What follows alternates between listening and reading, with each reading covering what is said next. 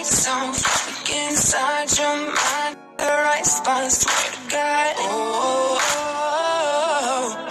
Man, cause you just took a shower. Run treadmill on the inside. Sounds so smart like you graduated.